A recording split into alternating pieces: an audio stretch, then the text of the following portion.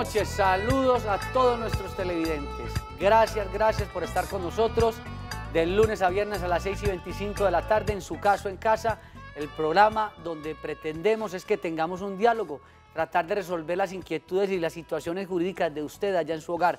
No le pregunte al vecino, no le pregunte al amigo, llámenos a nosotros y con sus vecinos y amigos entre todos resolvemos las inquietudes jurídicas. Soy Juan Carlos Hurtado Ochoa, director y presentador de este espacio informativo. Muy importante que ingresen al canal de YouTube Su Caso en Casa, Teleantioquia, Su Caso en Casa. Allí están todos los programas para que ustedes repitan, los vean, los compartan, eso es muy importante. Hoy vamos a hablar sobre la pensión de invalidez, qué se requiere para la pensión de invalidez, porque siguen muchos televidentes preguntando sobre este tema. ¿Quiénes pueden eh, tener la pensión de invalidez? ¿Qué calificaciones necesitan? ¿Cuáles son los requisitos? Y hoy vamos a hablar de ese tema con el doctor Orlando Hidalgo Campo, ex juez laboral, ex magistrado, especialista en Derecho Laboral y de la Seguridad Social, con amplia experiencia en estos temas. Doctor Orlando, buenas noches. Juan Carlos, buenas noches. Televidentes, buenas noches. Muy contentos con, el resultado de este programa, Juan Carlos, como usted lo ha dicho. señor. La gente está también muy contenta.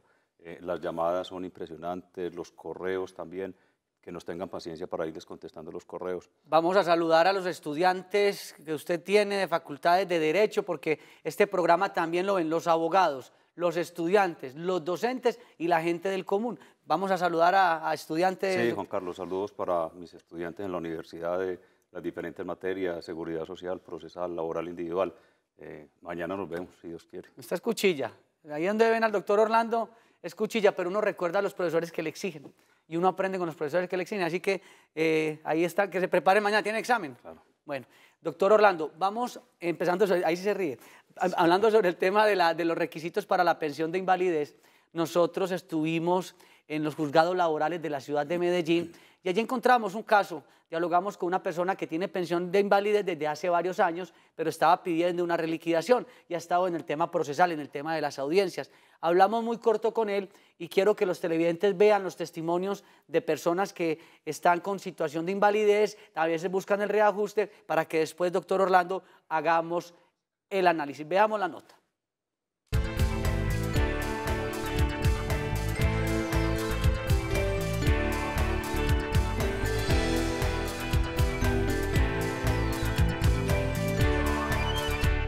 Las inquietudes y los problemas laborales y de pensiones de nuestros televidentes, los problemas jurídicos son importantes.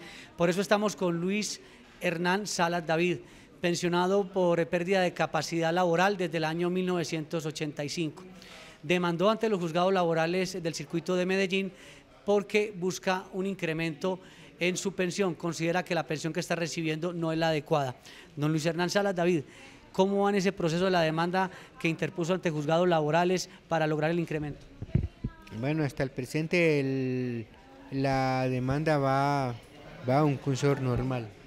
¿Considera usted que el proceso ha sido lento, que la justicia es lenta, es garantista, ha habido garantía en el proceso? Sí, sí lo ha habido y todo va en su proceso normal, corriente. En el tema de la asesoría jurídica, que es algo de lo que nosotros hacemos mucho hincapié aquí, en su caso en casa, ¿Cómo le ha ido? Porque buscó los profesionales idóneos para que lo acompañaran en este proceso. Bien, no, todo va bien. Bueno, sobre el tema de los, de los incrementos que usted está buscando por el tema de su pensión, eh, ¿en, qué, ¿en qué etapa va? ¿Cuántas audiencias lleva? ¿Qué le han dicho sobre su, su, resultado de la misma? Bueno, esta es la primera audiencia y hasta aquí, pues, los señores que están al frente del caso dicen que todo está en su normalidad. Eh, ¿Contra quién demandó usted el, reajuste de esa pensión? Contra la Universidad de Antioquia. ¿Usted fue pensionado de la Universidad de Antioquia en el 85? Mm, a ver, tal tuve yo un ligero e, error ahí. Esta entidad me pensionó a mí en el 5 de noviembre de 1980. Es el 5 de noviembre de 1980 y hoy está buscando el reajuste. Como Luis Hernán Salas David, hay muchas personas que buscan el reajuste de pensión, otros buscan la pensión de invalidez y por eso acá en su caso en casa traemos las historias de los ciudadanos que viven estas situaciones acá desde los juzgados laborales de la ciudad de Medellín. Estamos saliendo a las calles, a los juzgados, hablando con la gente que está tramitando distintos procesos en materia de pensión y derecho laboral. Eh, esta persona con la que estábamos hablando, pues ostenta la pensión de, invalidez desde hace algún tiempo y está buscando una reliquidación, doctor Orlando Hidalgo, y traíamos este tema a colación porque hace pocos días, doctor Orlando, en la oficina, pues hubo una situación muy interesante de un señor con una pérdida de capacidad que, estaba, que se dedica a la venta de confites, a la venta de dulces, y llegó a la oficina, lo asesoramos y hoy esa persona goza, gracias a Dios, de una pensión de invalidez y ya no le tocará tendré que esforzarse con las limitaciones a actividades económicas en las calles de Medellín, doctor Orlando. Sí, Juan Carlos. Y como el, cliente que Juan Carlos dice que nos visitó y que ya afortunadamente logramos que le reconocieran su pensión de invalidez, hay muchos. Miremos, el, el, entrevistado en este momento eh, tiene su pensión de invalidez, pero está inconforme con el porcentaje o con los resultados económicos de la pensión que le están dando y es válido, y para eso está la justicia laboral, para que, asesorados por un abogado que maneje el tema, eh, revisemos todas esas pensiones y miremos si hay lugar o no algún reajuste. este señor que, que, se entrevistó posiblemente fue que no se le tuvo en cuenta todos sus ingresos, posiblemente el porcentaje de pérdida de capacidad laboral frente a las semanas que tenía le podría dar una pensión más alta. Eh, recordemos que está hablando de una pensión del 87 que se le dio la misma institución para la que trabajaba. Entonces son varios factores y por eso la invitación para los televidentes es que no se conformen con lo que les dijeron en el momento en que les resuelven la petición que hacen, sino que se asesoren y consulten con un experto en la materia. Recordemos que el teléfono en horario de oficina es el 322-2552, 322-2552. La doctora Patricia Mejía, abogada, es la encargada de hacer la agenda con ustedes para resolver temas laborales y de pensiones. Hoy nos escribía un televidente, doctor Orlando, y nos preguntaba que si esa, esa, persona tiene una pérdida de capacidad, no se ha hecho calificar, que eso es importante, hay que hacerse calificar primero, pero eh, pretende que su tía con quien ella vive eh, le pueda en un momento dado, cuando fallezca, la sustitución o la pensión de sobreviviente a esa persona en situación de discapacidad. Hemos hablado que la Corte se ha pronunciado sobre abuelos y nietos en, algunas, en algunos casos, pero el tema de tíos y personas con discapacidad, ¿podría haber alguna situación allí que pueda beneficiar a esa persona con movilidad reducida? Sí, Juan Carlos. Eh, en algunos de los programas que hemos presentado aquí eh, tocamos ese tema, eh, justamente analizando la sentencia de la Corte Constitucional, donde en su momento falleció el abuelo y le dio la pensión de sobreviviente o la sustitución pensional a un nieto. la Corte Constitucional analizó ese caso concreto y, frente al estudio que se le hizo a esa decisión, a los fundamentos de la Corte Constitucional en su momento, la conclusión a la que llegamos es que esos mismos presupuestos o fundamentos se, se podrían llegar a aplicar cuando esa persona que queda desprotegida, en este caso una persona inválida, eh, tiene ese acercamiento tal frente a la persona que fallece que se podrían aplicar los mismos fundamentos para un hermano, cuando fallece un hermano, cuando fallece un tío, alguien que se acerca a reemplazar, digámoslo así, a esos padres, y podríamos hablar de un padre por sustitución. Yo el tío podría, pero hay que dar la pelea, habría que dar la pelea. Sí, porque es que no está contemplado en la ley que los sobrinos ni los nietos sean beneficiarios de una sustitución pensional. Entonces, esto se logró fue por, eh, a través de la jurisprudencia y con una decisión de la Corte Constitucional. Entonces, a la televidente que nos escribió, eh, por favor, nosotros le dijimos que tiene que primero hacerse calificar, no sabemos cuál es la pérdida de capacidad, que debe ser del 50%, y después observar qué panorama se podría dar en el caso de la tía. Y lo otro también es que, que eso es importante antes de entrar con otra televidente las personas así tengan una situación de discapacidad, es bueno que hagan aportes al sistema, porque en un momento dado, digamos que la, pérdida de capacidad no supera el 50%, pero tiene unas cotizaciones o ha hecho cotizaciones, en un momento dado ese panorama se puede analizar para una posible pensión, doctor Orlando. Es que la gente cree que, no, es que yo tengo una pérdida y no voy a cotizar. Hay personas que están con una pérdida de capacidad, pero pueden desempeñar otras labores. Doña Estela, buenas noches. Bueno, mientras logramos nuevamente la comunicación. Sí, doña Estela, buenas, buenas noches. ¿Cómo le va? Bien, gracias a Dios. Bueno, gracias por estar con nosotros. Muchas gracias a ustedes. Quisiera preguntarle al abogado en este momento, eh, lo que pasa es que hace cinco años, hace cinco años eh, fui diagnosticada de cáncer de tiroides y hace cinco años llevo un, estoy en tratamiento. Cumplo los 57 años ahorita en enero. Entonces, a ver, eh, me han dicho que hay como una pensión o no sé para sobrevivientes de cáncer. Eh, no sé si, si el abogado me pueda, me pueda asesorar o cómo podemos hacer. Doña Estela, eh, ¿usted ha hecho aportes al sistema? Sí, claro. ¿Cuántas semanas tiene? En ese momentico, en ese momentico, de hecho, estoy laborando todavía. ¿Y cuántas semanas tiene en su historia laboral de cotizaciones? Eh, no, he, no he cotizado sino como 10 años. Perfecto. perdón, 10 años, sí, 10 años, sí. 10 años. ¿Y se ha hecho calificar? No, eh, tuve una pérdida de, de, de- ¿De movilidad? de movilidad en el brazo izquierdo y fui a que me calificaran, pero nunca me dijeron nada. Bueno, doña Estela, vamos a escuchar lo que le va a decir el doctor Orlando. ¿Quiere hacer algunas preguntas, doctor Orlando? No, para... pues, claro, muchas gracias, doña. Estela. Ya el doctor Orlando le va a aclarar sobre su panorama. Bueno, muchas A gracias. usted muy amable. Eh, La señora Estela, eh, el, el tema que estamos tratando hoy es de la pensión de invalidez, ¿cierto? Eh, lo hemos dicho y no sobra reiterarlo, cuando estamos hablando de invalidez, la persona previamente tiene que estar calificada por los médicos especialistas en este tema. Unos médicos que inicialmente podría ser la entidad que le está prestando el servicio de salud, eh, las juntas regionales de calificación y como última instancia la Junta Nacional de Calificación. En algunos casos también califican las ARL. Cuando califican a una persona para mirar su eh, pérdida de capacidad laboral, si este porcentaje, porcentaje le da como mínimo el 50% o más, estamos hablando de una persona inválida. Eh, la señora Estela nos dejó claro que no, nunca supo el porcentaje. No se ha hecho Eh, calificar. no la calificaron. Entonces, Entonces, primero hay que saber qué pérdida de capacidad laboral tiene. Eh, me atrevería a decir que no tiene el 50% cuando en este momento está laborando y no está incapacitada para laborar. Eh, lo primero que tenemos que dejar claro O es con una restricción. quien dice eh, si usted está en capacidad para laborar o no son los médicos, son ellos los autorizados, digámoslo así, para decir si una persona puede o no laborar. De ahí es que los médicos son los que nos dicen está incapacitado o no está incapacitado. Finalmente nos ordenan que nos califiquen y si nos dan ese 50%, entonces podríamos hablar de persona inválida. Luego de que le den ese porcentaje, que es uno de los requisitos para reclamar pensión de invalidez, tenemos que tener pendiente cuántas semanas tiene cotizadas en ese momento. Si tiene como mínimo 50 semanas cotizadas en los tres años anteriores a la fecha en que le estructuren ese porcentaje de invalidez, es el segundo requisito que exige la norma. Entonces, uno, que sea inválido, o sea, que tenga mínimo el 50%. Dos, que en los tres años anteriores a esa calificación o a esa fecha de estructuración tenga por lo menos 50 semanas cotizadas, aproximadamente un año. Con esos dos requisitos podría eh, hacerse presente a su fondo de pensiones, al que le está administrando pen- la pensión, y reclamar la pensión de invalidez. Vamos con más televidentes, doctor Orlando, de la ciudad de Bogotá. Doña Marta, buenas noches. Buenas noches. Gracias por estar con nosotros. Su pregunta. Pues son muchas preguntas, pero la más importante, yo trabajé con Saluco 13 años de enfermera, auxiliar de enfermería.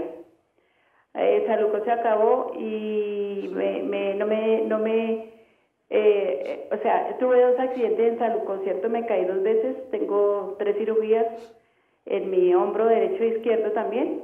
Y ellos me echaron en enero y yo estaba en una incapacidad de, ya llevaba casi cuatro años en incapacidad. Y ellos me echaron y, y no me arreglaron nada de la pensión ni nada. Su inquietud es si la podían despedir estando con una estabilidad reforzada. Sí. Y el ARP me negó que era enfermedad laboral y me dijo que era enfermedad común. Ok, ¿y usted ha hecho alguna acción legal? Sí, tengo un doctor, pero ellos no hicieron nada cuando me echaron de la empresa. Pero me refiero, ya usted acudió a acción de tutela, ha demandado, ¿ha hecho algo sobre el tema? Sí, estoy con una demanda al ARP. Doctor Orlando, sobre el panorama del auxiliar de la EPS mencionada, ¿qué se le puede decir a eso? Sí, eh, a la señora Marta y a todos los televidentes aprovechamos y me parece oportuno la intervención de la televidente para aclararle a todas las personas que utilizan los servicios nuestros como abogados y de todos los abogados es que cuando yo tengo un abogado y ya le di un poder a un abogado para que me asesore, para que me lleve mis procesos, eh, si yo le di poder a ese abogado es porque le tengo toda la confianza para que él me represente, ¿cierto? Aprovecho para decir esto es porque en la oficina Juan Carlos, a usted le ha tocado, nos llaman todos los días cantidad de gente eh, como con dudas con el abogado que tienen. Y, y venga, yo ya tengo abogado, ya tengo un proceso caminando, como en el caso de la señora Marta, ya tengo un proceso adelante, pero venga, dígame usted como mi abogado está actuando bien o no.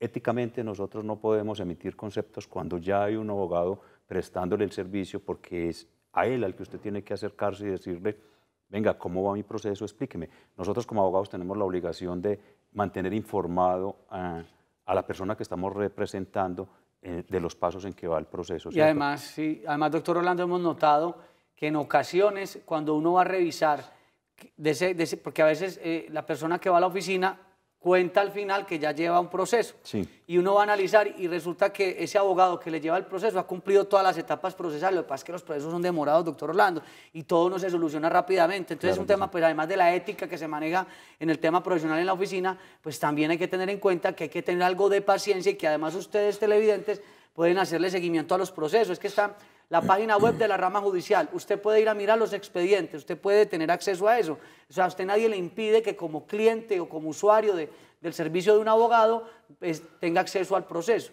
Porque es difícil, ¿verdad, doctor Orlando, esas situaciones? Eh, Ana, buenas noches. Buenas noches, eh, Sí, ¿cómo le va? felicitaciones por el programa. Muchas gracias. Eh, una preguntita para el doctor Orlando. Claro que sí. Una familiar le concedieron pues la pensión de invalidez, eh, pero la fecha de estructuración fue junio de 2017, pero solo le pagaron eh, a partir de diciembre y ya está cobrando la pensión, pero no le pagaron el retroactivo. ¿Qué se hace para reclamar eso por tutela o cómo hacemos? Muchas Claro que gracias sí. a doña Ana. Eh, a la señora Ana y a todos los televidentes, eh, a uno le estructuran la invalidez eh, en X fecha, para el caso que nos dice la televidente fue en junio de 2017, y nos cuenta ella que a su familiar solo le empezaron a pagar la pensión en diciembre de 2017. Eh, podríamos estar hablando de que la calificación o cuando lo- la revisaron o le hicieron el examen los médicos pudo haber sido posterior a ese junio de 2017. Realmente el derecho se adquiere o nos deben empezar a pagar las mesadas pensionales, y hablando de la pensión de invalidez, desde la fecha de la estructuración, en este caso desde junio de 2017. Pero tenemos que tener en cuenta eh, un punto y es hasta qué momento le pagaron incapacidades o posiblemente esa persona estaba vinculada laboralmente o venía recibiendo incapacidades porque estaba incapacitada, entonces está recibiendo, eh, recibiendo esos conceptos de incapacidad, que conforme a la norma, entonces a partir del momento que le pagaron la última incapacidad o desde ese momento en adelante es que tiene derecho a que se le pague la pensión, posiblemente a su familiar. Para que no haya una, una- una doble erogación. Sí, posiblemente a su familiar le cancelaron eh, o le pagaron incapacidades hasta diciembre y por eso desde ese mes de diciembre en adelante fue que le empezaron a pagar la pensión de invalidez. Eh, lo primero que tiene que analizar el familiar de la televidente es hasta cuándo recibió Exacto. incapacidades. Si para junio de 2017, que fue que le estructuraron la invalidez, no estaba recibiendo ninguna erogación o ningún dinero por salario, por incapacidades, como fuera, entonces sí tendría derecho de que de esa fecha en adelante le paguen el retroactivo. Y habría que hacer una reclamación inicialmente como un derecho de petición a, a la entidad pensional para que le cancelen ese retroactivo. Pero tenga en cuenta eso para que vayan y miren la documentación hasta qué momento recibió ella pagos. Y lo mismo está ocurriendo con las personas que solicitan la pensión de vejez y entonces salen de nómina hasta, mejor dicho, ingresan los papeles y no han salido de nómina o apenas van a salir de nómina, después quieren el retroactivo y se vuelve muy difícil porque siguen trabajando. Vamos a la pausa y ya regresamos. Aspectos importantes para recordar sobre la pensión de invalidez. Tomemos atenta nota. La persona debe hacerse calificar ante el Fondo de Pensiones y juntas calificadoras regional y nacional. Los dictámenes pueden ser apelados y analizados con peritos expertos en caso de no quedar a gusto con las calificaciones. Es decir, llegó a la calificación de la Junta Nacional y usted no quedó a gusto, puede buscar un perito externo para tratar de buscar la forma de controvertir esa calificación. La calificación debe ser superior al 50%, tanto para pensión de origen común como laboral de invalidez. Sin la calificación no es posible adelantar el proceso de pensión de invalidez, como lo dijimos anteriormente. Es importante haber cotizado por lo menos 50 semanas, un año, tres años antes de la estructuración de la invalidez. Hay condiciones más beneficiosas en ciertos casos en cuanto a las semanas cotizadas para acceder a la pensión de invalidez, que son pues otras situaciones para analizar. Don Jorge, buenas noches desde Itagüí. Buenas noches, ¿Cómo le va? bien gracias a ustedes, ¿cómo están? Muy bien. Por maravilloso programa. Bueno, su pregunta, por favor. Una preguntita para el doctor. Claro que sí. Amable. La de que- la- él mencionó como antes de Semana Santa o despuésito, de la liquidación de pensión. ¿De qué clase de pensiones se referiría el doctor? Reliquidaciones. Correcto. Listo, gracias a don Jorge. Doctor Orlando, en el tema, es un, es un tema, pues la pregunta nos la hace muy abierta, pero hoy, ¿qué personas deben revisar si están bien liquidadas sus pensiones o no? Porque hay unos casos donde dicen que liquidaron mal la pensión. ¿En qué casos de pronto, si usted recuerda alguno o qué situación hay sobre ese tema? Bueno, Eh, algunos abogados consideran que manejan el tema de pensiones, que las pensiones reconocidas eh, entre el 94 y el 2000 más o menos, en ese lapso, eh, que fueron reconocidas por el Instituto de Seguro Social en su momento, tienen alguna falencia en su liquidación. Entonces le están aconsejando a las personas que están pensionadas en ese tiempo que hagan revisar su pensión, que hagan un análisis de la pensión, porque en muchos casos, no en todos, está mal liquidada y logran o han logrado algún aumento en esa pensión, que se la reliquiden. Pero un caso, Juan Carlos, que ocurrió esta semana en la oficina, eh, el señor, escuchando estas noticias, se hizo presente a, a Colpensiones, por escrito hizo un derecho de petición diciendo que le reliquidaran la pensión porque escuchó la noticia en radio o en televisión, no, donde, no sé dónde la escuchó, pero no se asesoró antes eh, de un experto en el tema para ver si se había lugar o no la reliquidación. Se hizo presente al fondo de pensiones y venía pensionado mucho tiempo atrás y la respuesta que por eso consultaron en la oficina muy preocupados fue que le llegó una resolución de Colpensiones diciéndole que el Seguro Social en su momento se había equivocado porque no tenía las semanas suficientes para tener derecho a la pensión. Entonces lo invitaron que se acercara a Colpensiones porque iban a suscribir un documento donde le quitaban la pensión porque no era merecedor de esa pensión. Entonces no se dejen llevar tanto de las noticias o de los, los boom del momento. Asesórense, como hemos dicho. Se va a buscar reliquidación y terminó trasquilado. Sí, entonces eh, eh, que los asesoren, que le busquen una asesoría de un experto en el tema para que no, no vamos a cometer errores. Recordemos, doctor Orlando, que el teléfono de oficina es el 322-2552. 322-2552. Mariela, buenas noches. Sí. Buenas noches. Eh, para, yo tengo una inquietud en mi caso. Yo estoy incapacitada desde octubre. Eh, me han dicho que es un problema de columna. Ayer tuve cita con medicina del dolor y me dijo el médico que no es el problema que me han dicho, que es una inflamación de los tendones de la columna. Eh, pues la verdad no quedé satisfecha con lo que el médico me dijo.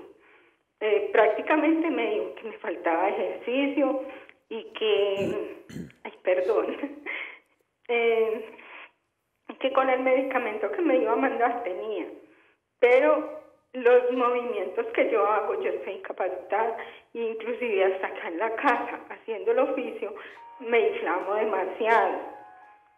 Entonces, no sé, pues la verdad no sé qué, qué hacer, no sé a dónde acudir, no sé nada. Bueno, Mariela, eh, veo que, que, está muy, pues, obviamente muy compungida por todo lo que le está ocurriendo, pero, pero no se desespere no se desespere porque afortunadamente legalmente hay cosas que se pueden hacer. Cuando una persona como Mariela, que siente uno que está padeciendo una pesadilla por los dolores y porque no, no saben cómo, cómo solucionar su problema, doctor Orlando, en el caso de ella, ¿qué puede hacer cuando si de pronto su médico tratante no está resolviendo la situación o cuando ella está viendo que que el tema de la terapia no funciona, pero aquí no somos médicos, pero desde lo, desde lo jurídico, ¿qué, herramientas podría hacer ella? Sí, Juan Carlos, eh, precisamente esas palabras que usted acaba de decir, se las iba a compartir yo a la televidente y a todos los televidentes. Eh, desde el punto de vista médico, nosotros como abogados no tenemos esa competencia ni sabemos cómo, cómo abordar ahí la, la inquietud de la televidente. Supuestamente, o supuestamente no, son los médicos desde su profesión los que manejan eh, las enfermedades de las personas.